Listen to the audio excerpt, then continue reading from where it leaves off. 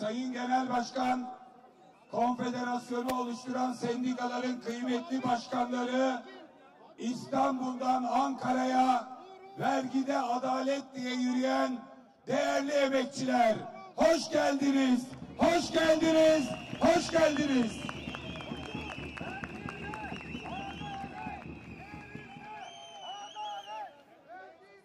Bu meydan Türkiye'de 20 bin kişiyi temsil ediyor. 3 milyon 700 bini kamuda 20 milyon emekçi adaletsiz vergi dilimleri yüzünden Ocak ayında aldıkları maaş Aralık ayına kadar eriyor, eriyor, eriyor. Hakları yeniyor, hakları yeniyor. Bu haksızlığa karşı itiraz eden diski ve onunla birlikte bu mücadeleye destek veren herkesi saygıyla selamlıyorum.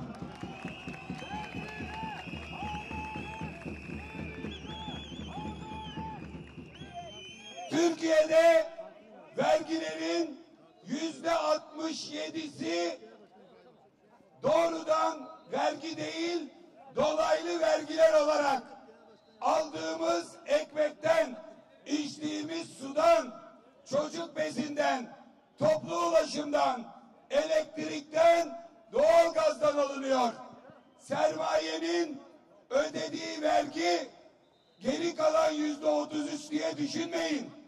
Bunun da, bunun da sadece yüzde altılık bir kısmı beyanname sonucunda gelir bildirimi karşılığında alınıyor. Geri kalanı ise kaynağında kesiliyor. Yani bugün Türkiye'de para kazanan, kar edenlerden alınan verginin tam on katı yoksullardan, emeklilerden, emekçilerden alınıyor. Bu adaletsiz vergi düzenine itiraz ediyoruz. Vergide adalet istiyoruz.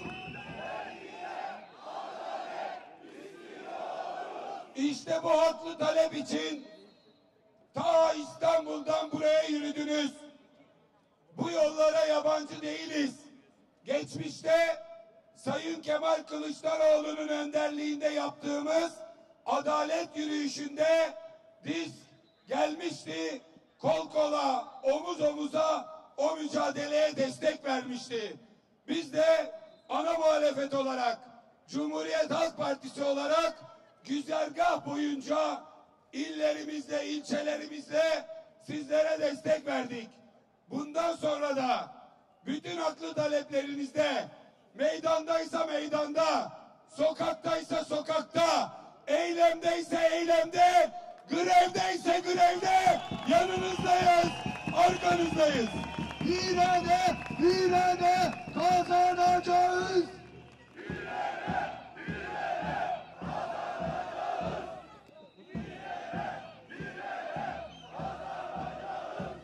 Sayın Başkan'ın hazırlayıp, diskin uzmanlarının hazırlayıp, Sayın Başkan'ın bizlerle kamuoyuyla paylaştığı kanun teklifini benimsiyoruz, destekliyoruz. Burada çok sayıda milletvekilim, Ankara İl Başkanım ve sendikalardan sorumlu Genel Başkan Yardımcım, Çalışma Sosyal Güvenlik Gölge Bakanım yanımda. Hep birlikte size destek vaat ediyoruz, dayanışma vaat ediyoruz.